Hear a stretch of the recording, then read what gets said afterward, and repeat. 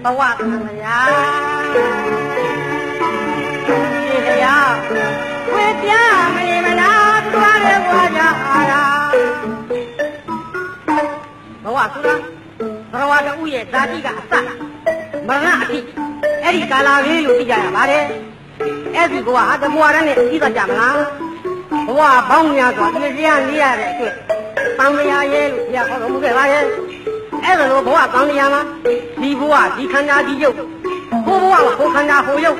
ညမပြေတဝင်းဝင်းဝလချင်းတရှုပ်ရှုပ်ကံမဆိုးတဲ့တက်ကလေးတောက်အယုံများနှံလို့နှမ်းနေကြရတာကတတိပန်းတိုင်းမရောက်မချင်းတယောက်ချင်းတယောက်ရဲ့ဆဲလဲခွဲခွာလာ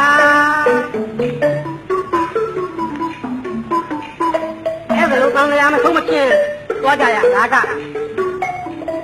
ဘလူလေးရဲ့ပယောဂပါလေစဉ်းစားကြည့်လိုက်တော့ဩလောဘဒေါသရဲ့မောဟရဲ့မဝိဇ္ဇာပြစ်တရားသင်္ခါရရဲ့အရင်စစ်လိုက်တော့မဝိဇ္ဇာပြစ်တရားသင်္ခါရဆိုတဲ့အတိုင်းဒုံလုံးကံတဲ့အဝိဇ္ဇာကြောင့်သင်္ခါရဆိုတဲ့ပြစ်တရားတွေစီမံတာတွေခံနေကြတာပါပဲဒါကဘဝတိုင်းဘဝတိုင်းအောင်သားလေးတွေတော့ကြော်လိုက်ကြ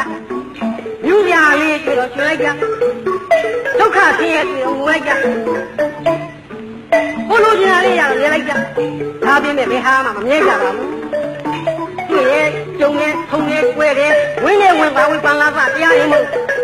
ဖြစ်ချင်တာလဲဖြစ်ချင်မှဖြစ်ကြမယ်မဖြစ်ချင်ပါဘူးဆိုလည်းမဖြစ်ဘဲဖြစ်ကြရမယ်အဲဒီလိုအေးဘူးမကဝိဒုက္ခဆိုတဲ့သုံးချက်တပုံကလွတ်ပြအောင်လွတ်တင်းဖတ်နိုင်ကြဖို့ကလည်း တန်ကောင်းလာဝဲတော့လည်း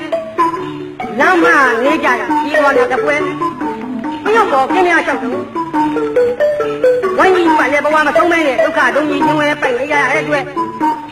ဒုက္ခသစ္စာသမုဒယသစ္စာနိရောဓသစ္စာမေဃသစ္စာတွေရင်ဝဲပိုက်နေအောင်ကြိုးစားကြဖို့တုံးတဲ့တပုံဝဲတွင်းရောက်တော့အယုံရဲ့ကြောက်တဲ့ဒီပုံမှာ